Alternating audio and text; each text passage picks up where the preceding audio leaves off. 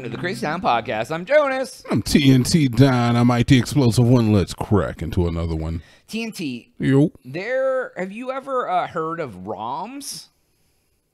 Emulators? You ever heard of those before? It, what is it? 1998 right now? Are we? Yeah. Yeah. I mean, they still exist for I new used stuff. I used to have a, a Dreamcast and I had an emulator disc for it and it had like I don't know like oh, you put the disc in and start, and you open it up, and put the other disc in. I, I, uh, Man, uh, yeah, I think it was that actually, and it had like 1,200 NES games and SNES games and stuff like that. Yeah, so yeah, so there was a guy. didn't save His though. name's Gary Bowser.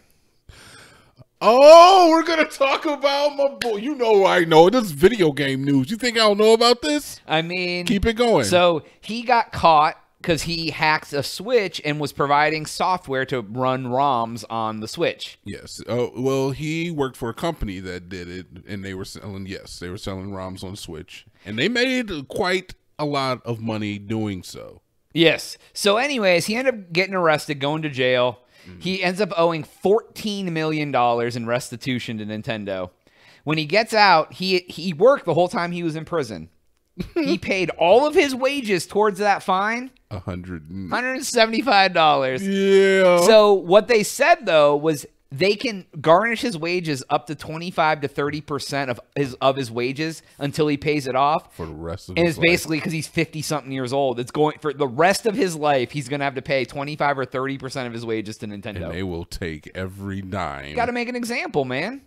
Nintendo loves making an example. So I think like, have you ever been to like Alibaba or anything like that? And you see Uh oh, is that like the the, drop the drop ship. Uh, Yeah, I've heard of it. I've never I don't think I've ever been on it, but I've heard of it. well, yeah. yeah, you can go there and buy like electronics, and a lot of stuff comes from overseas and stuff. It's like so- a palette of like as is yeah DVD players And or they whatever. and they're like they were there was even talks that like uh the Soldier Boy console that uh it kind of had like the same kind of feel and look as one of those things you get on Alibaba. Well, those those sometimes will have like those emulators on them with like a bunch of games and stuff on it that obviously those persons don't have licensure to. But I think this guy was in a similar boat, making a big bank. Apparently, he didn't make as much as some of his other business partners did. I don't know if they got away with it or, or something, but apparently he didn't have as much in reserve as some of his other uh, constituents did. Oh. So that's why he is unable to pay Nintendo back. Uh, He probably embezzled that man. He's laundered it. He got a he got a sack of cash somewhere. He's he's he's drawn out of. do you think it's worth it? Like how long? Did don't how long was he in jail for? I don't know. I don't. I I didn't see, but like it, that. Well, that's like the old adage. Like if you could rob a bank and get millions of dollars, get caught, but they don't they don't find the money, and then you got to spend ten years in jail, and you get out and you're a millionaire because you got the cash buried somewhere. Oh, they're gonna is that follow is that you worth it? immediately. They're gonna follow you immediately. Yeah, but I mean, you can still you can tell somewhere else, someone else where it is. Like you know, what I mean, That's you can. what that's what you'd have to. Yeah, do. like there's ways. I mean, they, there's stories about that. Like, oh, we, we we only recovered X amount of the money that you stole, or the jewelry, or the whatever, and they go to jail, and they're like, mm-hmm. and then you're just sitting there for all the ten years, and I'm like, when I get out of here, man, whoo, millions of dollars in jewels are mine. I'll be rich as f. Like, is that worth the the time in jail? yeah, yeah. How it depends how much time, obviously, right? Like, if you get But- six months, almost any amount of money is worth that. But But you're living the life for how long? living what? You're living the life. Oh, the prison life. No, not the prison life. I meant the the life of luxury. Oh yeah, because you get out, you get that cash or jewels or whatever. You go to like the Caribbean and just like live on a beach with a bucket of cash for the rest of your life. It's like I, I truly, I truly uh understand is that I can never fully grasp like what it means to truly be like wealthy, wealthy. Like stupid rich. yeah, Like where like you could spend 10k and not even notice. yes, Like yeah, like yeah, because they talk about people blowing money on stuff, and like for it, and it's interesting because we've talked about this before. Like like a pack of ramen noodles to us is what twenty five cents or thirty cents or whatever, Yeah. but in jail people get stabbed Yeah, over it. behind the walls. That's a lot. Right. So it's like you like I would throw like, you know, 20 bucks at something be like, "Eh, whatever, it's only 20 bucks." But to somebody else, that's like holy shit, 20 bucks is like a big deal to me or a hundred dollars or like whatever.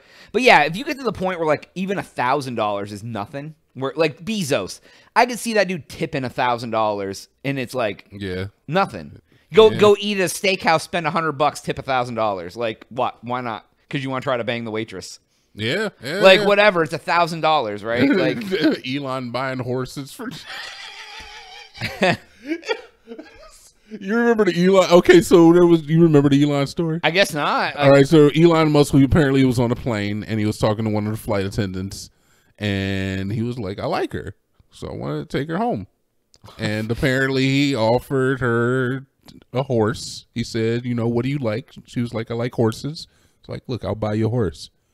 Come to my hotel room." And she was like, "No." He's like, I'll buy you a horse and a stable and someone to take care of the horse, and we'll get you riding lessons. bro. It- I mean, she still said no, but bro, Yeah. come on. And that's not the first time he's got that off. You just No. tossing up horses at chicks. Oh, I uh, I it was interesting. Like I remember this time, like uh, I'll buy you a horse. when uh, I went out with a buddy that I went to high school with, Mhm. and we. And the uh and the waitress was like flirting with me, or whatever. Like we were flirt. Me and the waitress were like flirting or whatever. And then like my buddy, like he's like he, you know, I, I don't, I don't even know. He must have. He was like, I'll, I'll take care of it. And and and he like and he left her a tip double the the check. yeah. And he was just like, "Yeah, I hooked you up, dude. I left her. I, I left a double tip, like a two hundred percent tip." And I was like, "How is? Why is that girl gonna give a shit that you left her that tip for me or whatever?" And I'm like, "And that's like the mindset those kind of dudes have. if you tip, tip If you tip really- well, like they're gonna be like, "Oh, excuse me, sir. Let me take you in the back room and da, it- da, da, da, da, da, da, you." it's it's always a good sign when they see you're a little loose, man. Yeah, I mean, if you're fla- I mean, if you're flashing it around, Exactly. I mean, look, it's it's posturing. If in if in the baboon world they would sh- like show their booty? yeah, they would show their big red posteriors. I'm doing that with cash. just shoving it in your Yeah. butt and turning around and be like, Look, "Look, at all is- this money." Exact. What is like the canonical term for "let me talk to you, sister"? Let me riz you up, Miss Ma'am. Let me buy you a drink. That Money? is- that is that's that's what I'm saying. It's like let me buy you a drink is how you all is like the idea of like I'm trying to talk to you. You know. Yeah, I don't like that, but it is true. Yeah, you've bought drinks for girls. No, I haven't. You don't buy drinks for girls. No, dude. I You don't buy with my, drink- with you're my not a big drink- personality. You're not a big drink buyer. I uh, I never understood that. I'm not a drinker. I never understood that. Me and John, when we, me and Jonas go out, uh, I'm the guy who's like, "Hey, yo, when we doing shots." I mean, yeah, just because I don't walk in the door and buy a round of shots doesn't mean that I'm not a good man. The part. I'm not saying nobody's talking about you being a good man. I'm just saying is that you ain't a drink buyer. That's all we're saying. Don't take offense to the statement. It is the truth.